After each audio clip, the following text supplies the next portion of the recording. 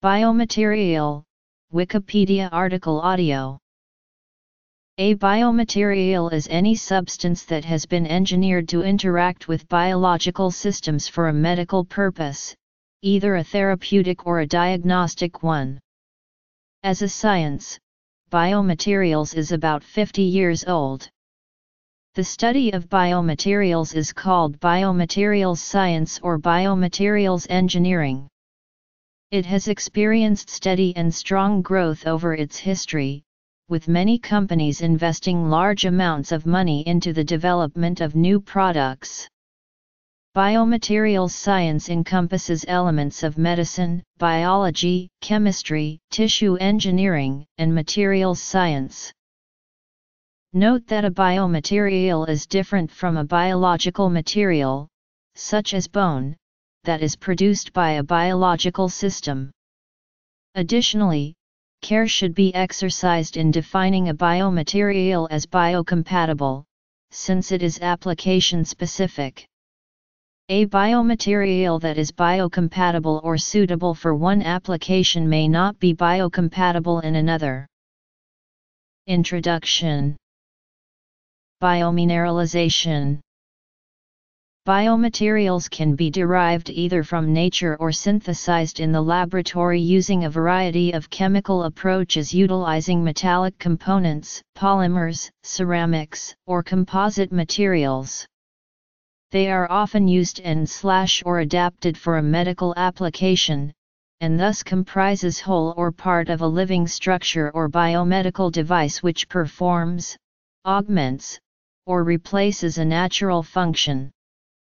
Such functions may be relatively passive, like being used for a heart valve, or may be bioactive with a more interactive functionality such as hydroxyapatite-coated hip implants.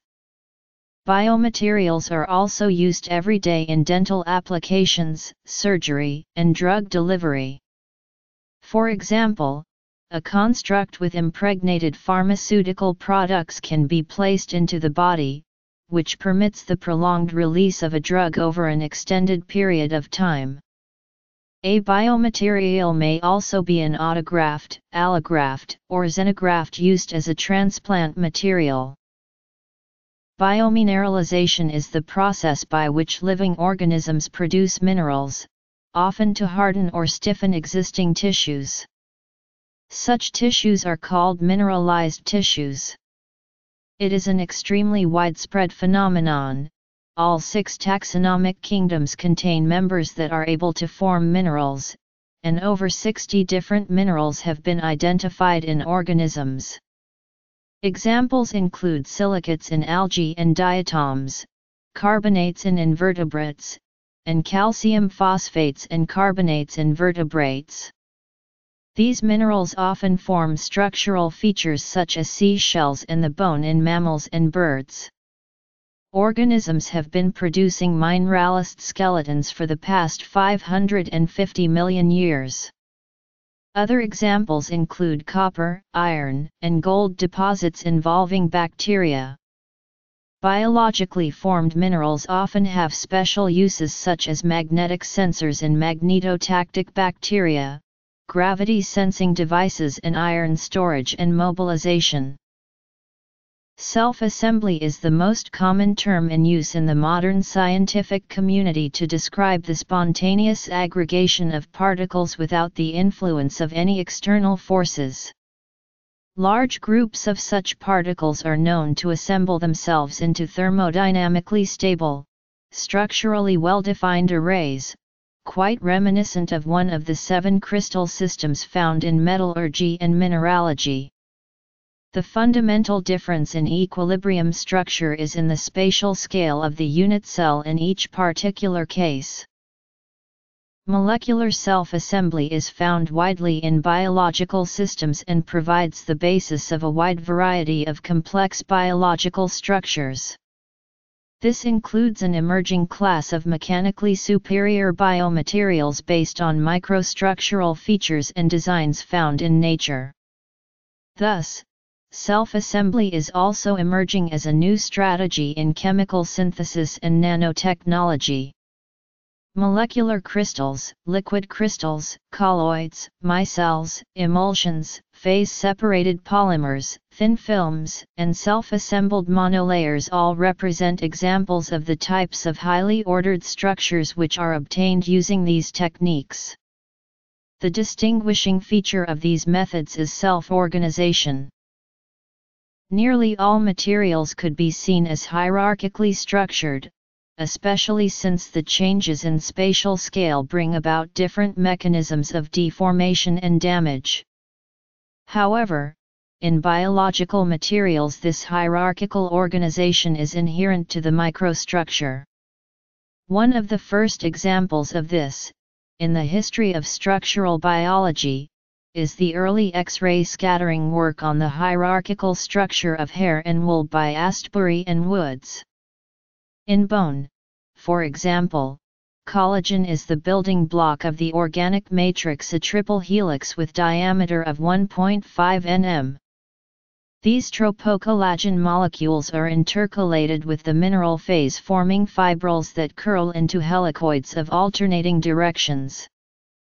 These osteons are the basic building blocks of bones, with the volume fraction distribution between organic and mineral phase being about 60 40ths. Self-assembly In another level of complexity, the hydroxyapatite crystals are mineral platelets that have a diameter of approximately 7100 nm and thickness of 1 nm. They originally nucleate at the gaps between collagen fibrils. Similarly, the hierarchy of abalone shell begins at the nanolevel, with an organic layer having a thickness of 20-30 nm. This layer proceeds with single crystals of aragonite consisting of bricks with dimensions of 0.5 and finishing with layers approximately 0.3 mm. Structural hierarchy Crabs are arthropods whose carapace is made of a mineralized hard component and a softer organic component composed primarily of chitin. The brittle component is arranged in a helical pattern. Each of these mineral rods contains chitin protein fibrils with approximately 60 nm diameter. These fibrils are made of 3 nm diameter canals which link the interior and exterior of the shell. Biomaterials are used in Biomaterials must be compatible with the body, and there are often issues of biocompatibility which must be resolved before a product can be placed on the market and used in a clinical setting. Because of this, biomaterials are usually subjected to the same requirements as those undergone by new drug therapies. Applications all manufacturing companies are also required to ensure traceability of all of their products so that if a defective product is discovered, others in the same batch may be traced. Heart valves In the United States, 45% of the 250,000 valve replacement procedures performed annually involve a mechanical valve implant. The most widely used valve is a bileaflet disc heart valve, or ST. Jude valve. The mechanics involve two semicircular discs moving back and forth, with both allowing the flow of blood as well as the ability to form a seal against backflow. The valve is coated with pyrolytic carbon, and secured to the surrounding tissue with a mesh of woven fabric called Dacron. The mesh allows for the body's tissue to grow while incorporating the valve. Skin repair. Most of the time, artificial tissue is grown from the patient's own cells. However, when the damage is so extreme that it is impossible to use the patient's own cells, artificial tissue cells are grown. The difficulty is in finding a scaffold that the cells can grow and organize on. The characteristics of the scaffold must be that it is biocompatible, cells can adhere to the scaffold, mechanically strong and biodegradable. One successful scaffold is a copolymer of lactic acid and glycolic acid. Biocompatibility is related to the behavior of biomaterials in various environments under various chemical and physical conditions. The term may refer to specific properties of a material without specifying where or how the material is to be used. For example, a material may elicit little or no immune response in a given organism, and may or may not be able to integrate with a particular cell type or tissue. The ambiguity of the term reflects the ongoing development of insights into how biomaterials interact with the human body and eventually how those interactions determine the clinical success of a medical device. Modern medical devices and prostheses are often made of more than one material so it might not always be sufficient to talk about the biocompatibility of a specific material. Compatibility Biopolymers are polymers produced by living organisms. Cellulose and starch, proteins and peptides, and DNA and RNA are all examples of biopolymers, in which the monomeric units, respectively, are sugars, amino acids, and nucleotides. Cellulose is both the most common biopolymer and the most common organic compound on Earth. About 33% of all plant matter is cellulose.